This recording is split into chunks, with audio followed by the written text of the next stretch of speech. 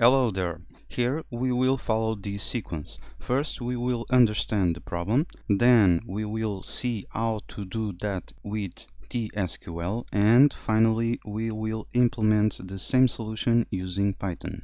We already did a hello world in a previous video, okay, in SQL Server and Python. And we already saw how parameters work. Here we will do a more realistic example. I inspired myself in another video from another person and I will leave a link for that video in the description of this one, okay? And the problem is we have a sales table where we have a year, a quarter, a client and a revenue and we want to do a transformation like this one, okay? So the first four rows here are mapped into these. We have the year, the client, then we have the quarter 1, 2, 3 and 4 all separated and finally we have the total that is the sum of all the quarters. And the definition of table sales is just this. Create table, sales, and we have a year that is an integer, it is not null. We have a quarter that is a varchar with max 10 chars and is not null. A client that is a varchar with 10 chars at max and it is also not null. Finally, a revenue that is an integer and it is not null. So let's create this and is just this. After this we have the inserts, okay, the data, okay. So let's run this and finally we can do a select and we get this table here. Let's start by seeing the solution with the SQL. We start with this query, this simple query, where we select the year, the quarter, the client, and the revenue from sales. Also, we do a check if the quarter is null, and we do the sum of the revenue grouping by year, quarter and client. This check is null on the quarter doesn't do anything because by definition the table sales cannot have quarters that are null. Also, the sum of the revenue grouping by year, quarter and client. Well, if we check here in our sample data, the combination of the year, quarter and client is never, never repeated. So this sum of the revenue is like it's not here okay? So this query as it is is the same thing as having a simple select all from sales. If we add these three lines with cube having year and client not null we are saying to SQL Server to show us all the records of the table and also include all the possible combinations of the year and the client where the year and the client are not null. Because we are not saying anything about the quarter, the quarter will be null. So that's why these four new records have total in the quarter. About the revenue, we are not saying anything about the revenue here, so it will compute the sum of the revenue here. And if you remember, if you remember from the previous example, we have here the 7901, okay? The first four rows here are mapped into these. This is not yet what we want. We need to wrap these into a select all from. Then we do times pivot sum revenue for the quarter in quarter 1, 2, 3 and 4 and finally we have a total okay with this we get into this result where we have the year the client quarter 1 quarter 2 3 and 4 and finally the total the sum of all the quarters now let's do the implementation with Python. We will do the code in Visual Studio Code because it's more easy for us, okay? The first thing that we need to do is actually get a CSV file from SQL Server with the sample data. Then we need to load the CSV information into a variable. Then we can do a cross tab. This is a pandas function, okay? And the definition says that it computes a simple cross tabulation of two or more factors. By default computes a frequency table of the factors unless an array of values and an aggregation function are passed okay this can be a little Chinese for us and we will see how it works okay? Next we need to reset the index and again it's another thing about pandas. It resets the index of a data frame and use the default one instead. If the data frame has a multiple index. This method can remove one or more levels. Again this is a little Chinese for us so we will see what this does okay? The final step we can copy the code and use it in TSQL okay? For the first step in Management Studio we just need to select the data like this and in the top left corner right click and we say that we want to save these as we choose our folder and we provide a name sales data. Okay we choose the csv format and we save. Here in Visual Studio Code we can see our sales data CSV okay as you can see we don't have here the headers. So we go again to Management Studio we don't want to write the columns one by one so we can go here right click and copy the headers because because we already have here some data it will copy the headers plus the rows and we don't want this. So to avoid that we write select top 0% of everything from sales and these will give us just the columns the name of the columns. So right click copy headers we go to Visual Studio Code again. We make a new line and we paste the data. Now we need to add commas like this. We save this and the CSV file is okay.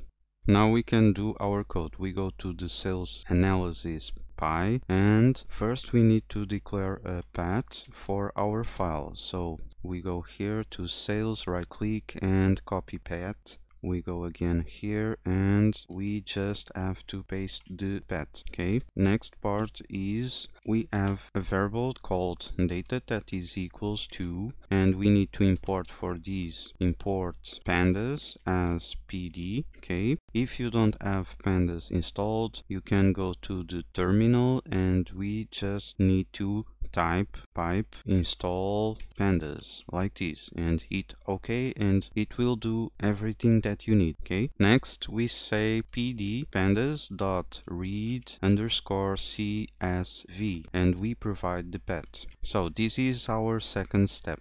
If you want to see what is in this variable data we need to do a print data. We open a terminal and we can say py sales analysis enter and it prints our csv file okay here.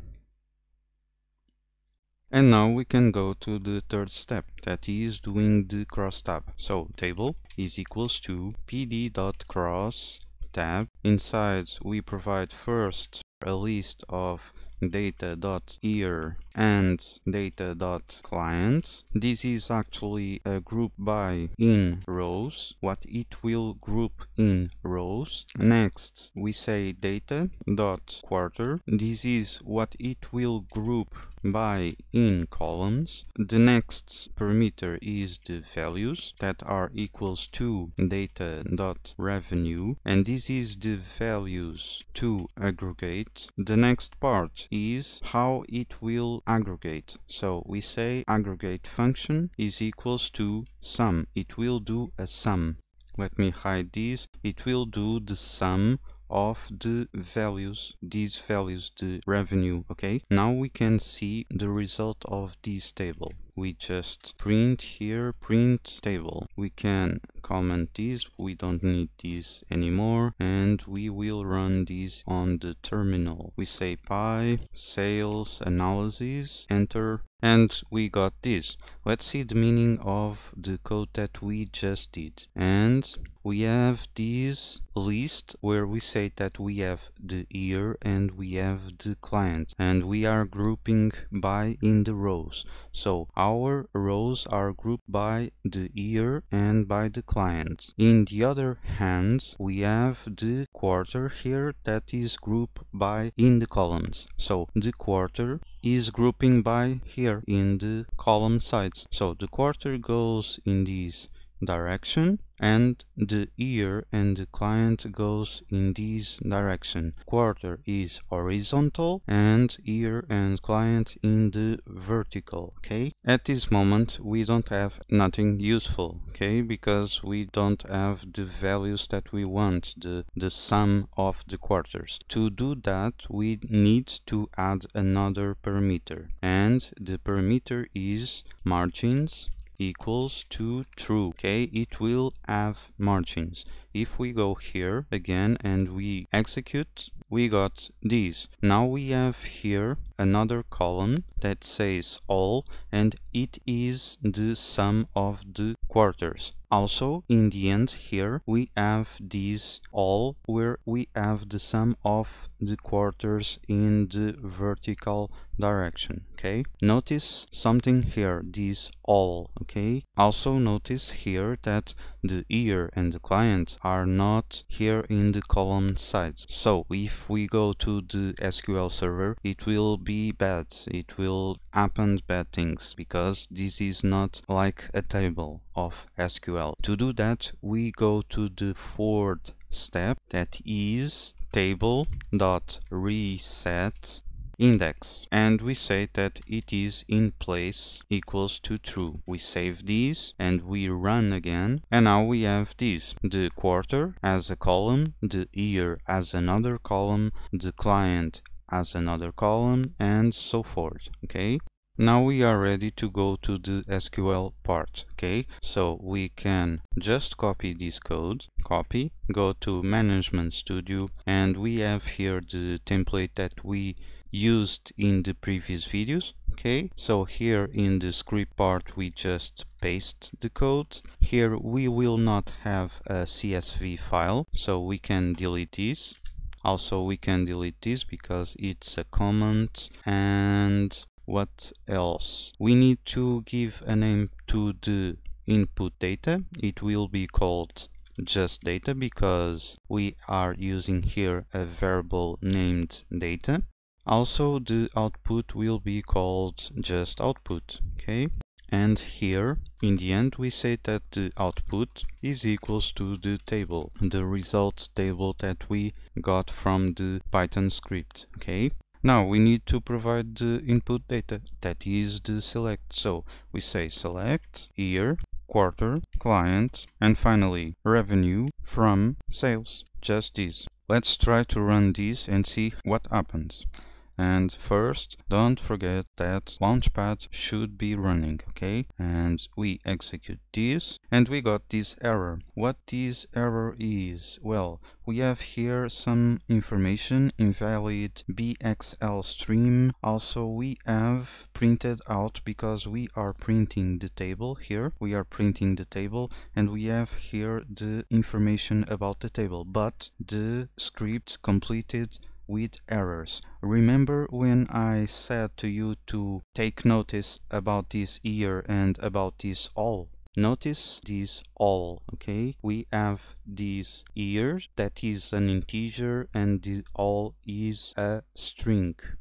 Oh yes, the table sales defines that the year is an integer. Since we are doing a simple select, since we are providing two the Python script a uh, simple select where we just provide the year. The year goes like an integer and Python is mixing integers and strings in the same column, okay? So SQL will receive a column and it has integers and strings. So we must convert into a varchar the year and let's call this as year and if we run we got the result with everything. Okay okay. So the only thing that is in fault here is the name of the columns. Let's call these let's say that we have with result sets open open close close and let's move this into the next line and let's call this year. And this year is uh, n var char of let's say 10 chars at max. The next will be the client and is uh, again a n var char of 10 chars. The next one is a quarter one that is a integer. A quarter two that is another integer quarter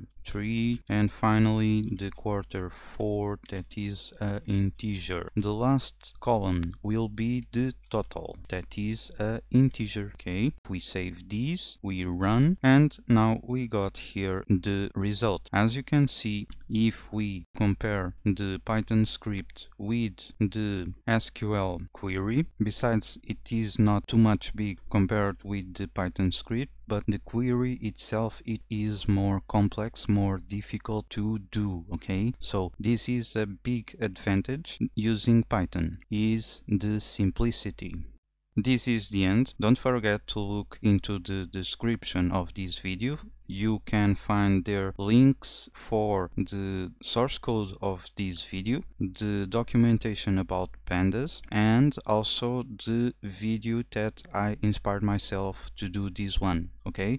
And as always thank you for watching